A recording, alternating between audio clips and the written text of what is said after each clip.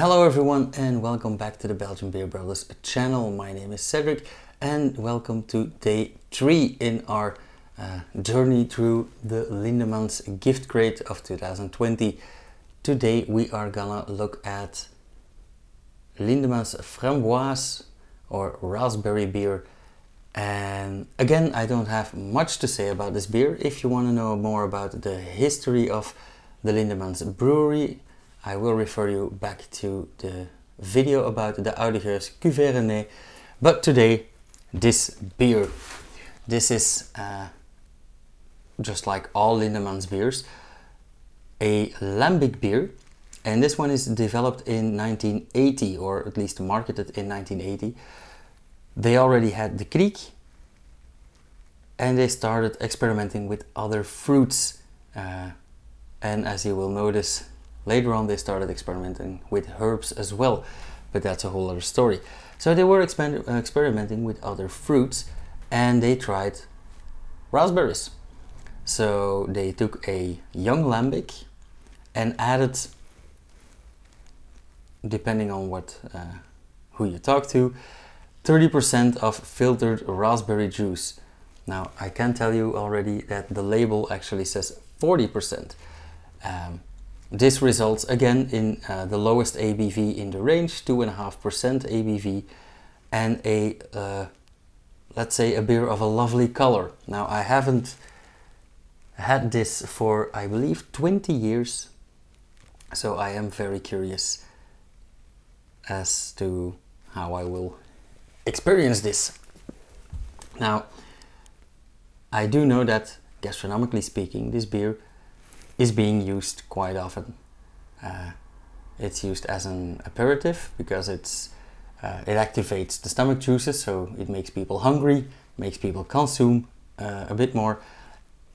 I can imagine uh, using this in cocktails, and I am unsure. I don't think that I ever have used it in cocktails because back in my uh, bar and chef days, uh, I wasn't just a chef. I also was a cocktail shaker for a short, short while. Uh, yeah, comes with bartending, I guess. But I can imagine using this uh, in a combination with vodka or limoncello or uh, some old citroengenever, lemon gin. Anywho, when it comes to food, I'd say I'd love to use this again in salads and uh, yeah, cold plates uh, and I would like to replace the wine vinegar in the sauce with this beer. I think it will have a uh, it will have an edge. It would be quite a different experience. And when it comes to desserts, well, it's raspberry, so what can I say? Anything with chocolate, chocolate mousse, dark chocolates, uh, but also slightly sour and sweet desserts like ice cream or cheesecake, for example, I can imagine this going very well with those. About the beer itself, like I said, I can't tell you a lot. Uh, all that I can tell you is it has a, a fuck ton of prizes uh, or awards, actually. For example, uh, the International Beer Awards in Hong Kong in 2010. It won Best Fruit Beer of the World. And at the World Beer Awards, it won World's Best Framboise uh, 2018, because apparently Framboise is a separate category. It won the gold medal and the country, uh, country award for Sour and Wild Framboise 2019. It won the gold medal Sour and Wild Framboise 2020 and the World World's Best, the country winner, Sour and Wild Framboise 2021. So yeah, it has been taking home a lot of medals and awards these past uh, five years. One thing you might have noticed is that I skipped a day for my Lindemans General Classic uh, tasting glass and I dug into my collection and took this one out. Now, you might see it, you might not, But over here it says Framboise in large and in tiny letters Lindemans. This is also a one colored logo and this is, an, uh, uh, this is a glass from the early 80s. You can see this because it's actually a sort of enamel and it's um, practically baked into the glass as they did back in those days. I'm actually pretty proud of this one. I absolutely love it. You will see a lot of uh, different Lindemans flutes, the, the, the Pécheresse, the Cassis, the Framboise, but they will be uh, multicolored logos with gold edges. You might even find the, the US ones with the Marchand du Vin name in it, but this is the old original uh, yeah, Belgian enamel glass. Nothing special on the label, nope.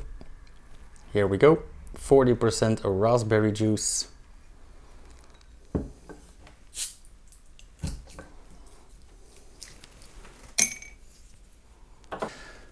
Now you will see in just a second why they originally served this in a narrow flute glass.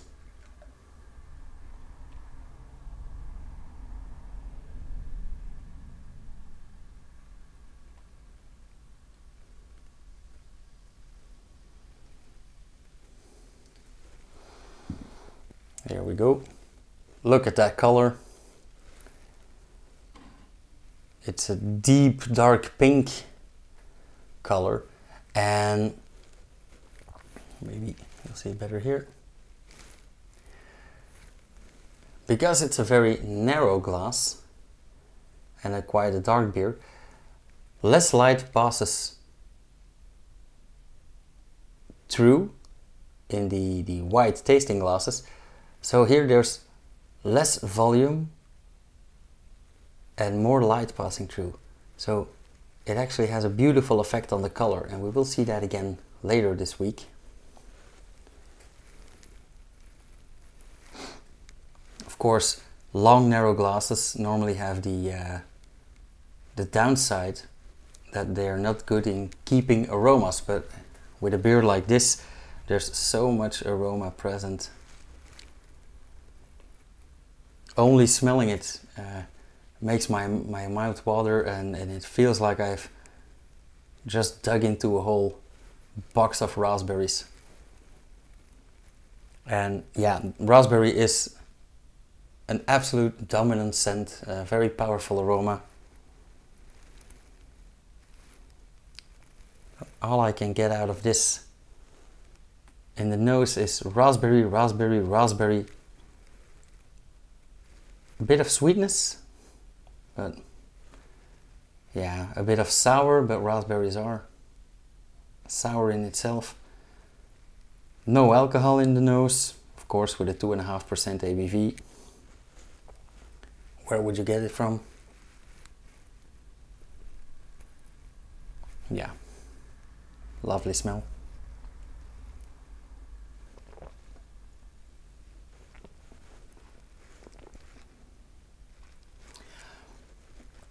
Say much about this. It smells exactly, or it tastes ex exactly as it smells. And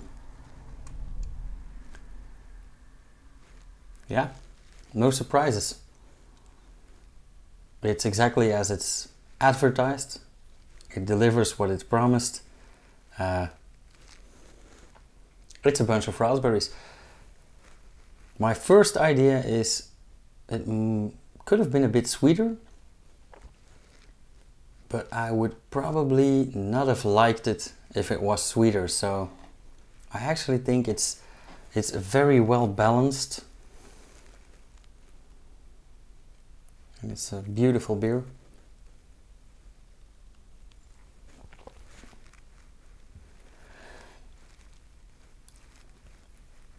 And I seem to remember it being less heavy, less powerful. So maybe the 30% isn't a typo on their website, but it's just the old recipe and maybe they uh, raised it to 40%. Just a thought. I have no idea about that.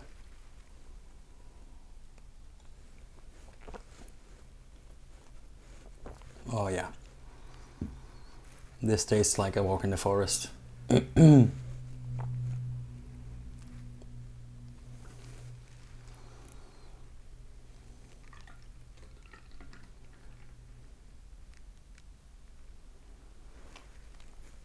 Another thing they had back in the days, back in the 80s, was smaller bottles. I do believe that back then they were only 20 centiliters, not 25, and that's why I have to fill up my glass a second time.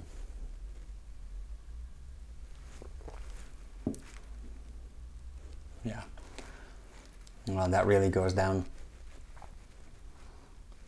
As I said, I now that I tasted it again, I can actually really imagine this going into salads, uh, replacing wine vinegar,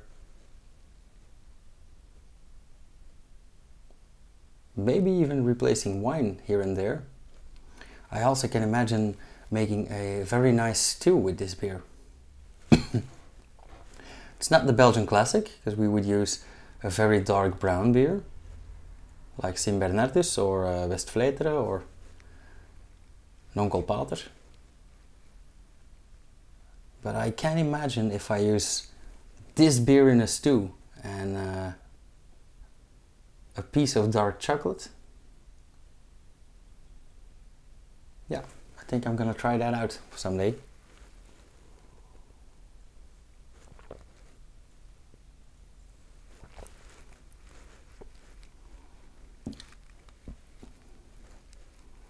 This is a beautiful combination of the, the fruit maceration, the lambic with that sour edge, the tannins from the wood coming into the beer, from ripening on the barrels.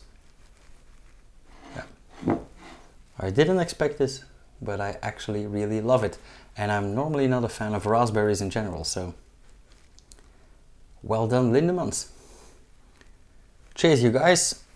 As usual, if you like this beer, if you have any questions or remarks, put them down here in the comments. Um, if you like this video, click like. If you disliked it, yeah, go ahead, dislike. And if you want to know more, subscribe, hit the bell icon so you'll get notified, and you'll see me again uh, as usual every Wednesday, Friday, and Sunday at 5 p.m. Ciao.